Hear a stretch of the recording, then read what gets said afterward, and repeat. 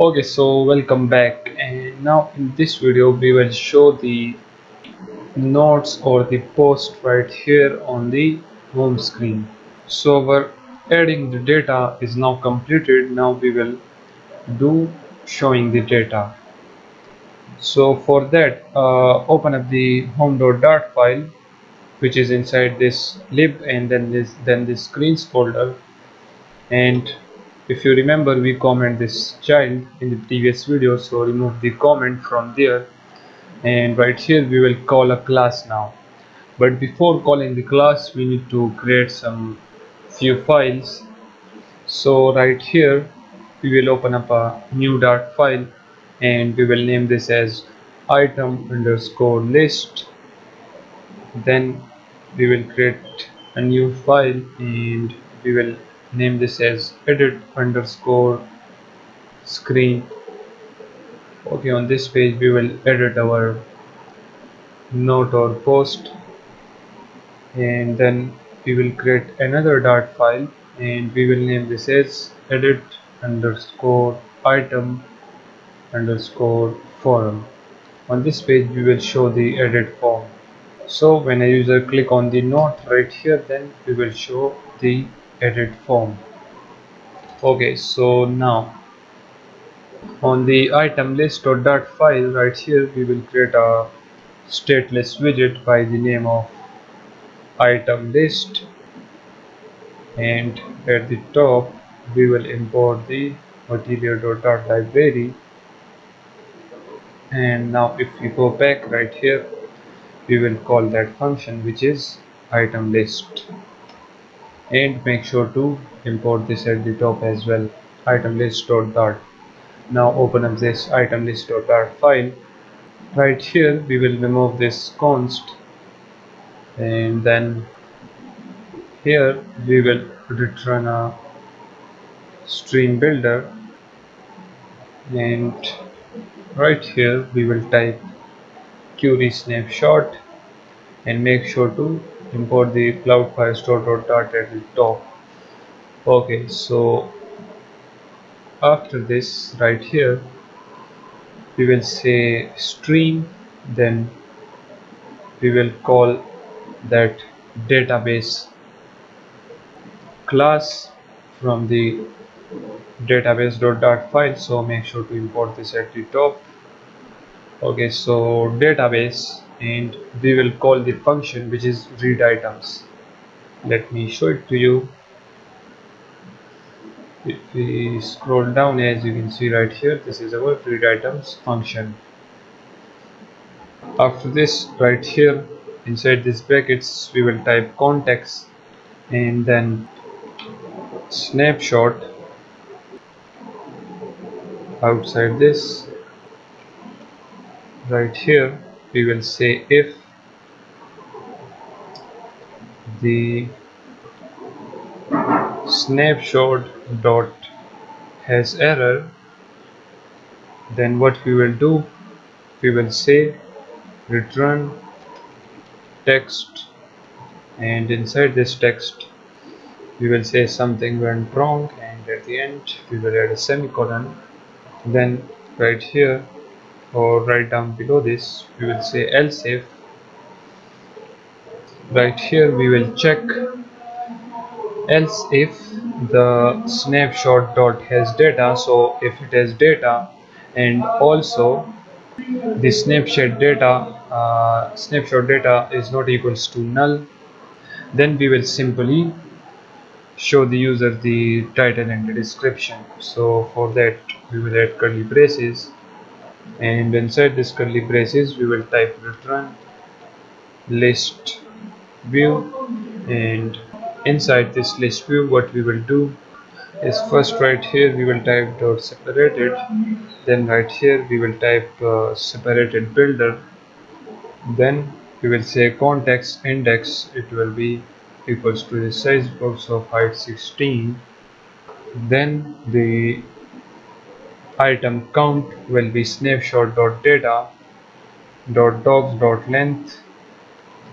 And after this we will say item builder. And right here we will say context then index. And inside this curly braces we will say variable not info will be equals to snapshot dot docs index dot data is map string and dynamic. And after this we will create a variable string and its name will be doc id and the doc id will be equals to snapshot dot, dot data dot doc index id so it will be equals to the id stored in the database let me show you okay this id this user id so this will be equal to that. Then the string title will be equals to the title and the description will be equals to the description. And now we will show this title and description. So for that right here let me create some space first okay. So right here we will return a ink widget and inside here we will say decoration then box decoration and inside this box decoration the color will be colors dot blue gray and the border radius will be border radius dot circular 8.0 after this decoration we will say child then we will create a list tile and inside this list tile the shape will be rounded rectangular border. The border radius will be border radius dot circular and its value will be 8.0 and now uh, we need to add a on tap as well so when someone click on the note right here on the home screen then we will to direct the user to the edit screen. Okay so from there the user can edit their notes. But for now we will leave this as empty. And after this on tap right here we will add a title.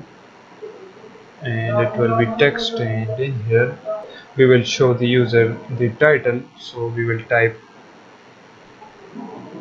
title. Okay this title. And after the title we will show the description. So for that we will type text style then text and in here we will show the description. Its max line will be 1 and overflow will be text overflow dot ellipses and now where this else if condition ends as you can see right here so right down below this else if condition. We will type return then we will open up a center widget and inside this center widget what we will do we will create a circular progress bar. So we will say child then circular progress bar and the color will be equals to colors dot orange accent. Let me remove this. And now this will show us the notes on our home screen. So let me just now refresh the application. And now if we enter our unique ID click login and as you can see right here it shows the title and then the title description and as you can see it is clickable. So now when the user click on this node then we will redirect the user to the edit edit screen and then uh, there the user can edit this note and now let's just quickly add another note its title will be football game and then the description will be football match on Monday.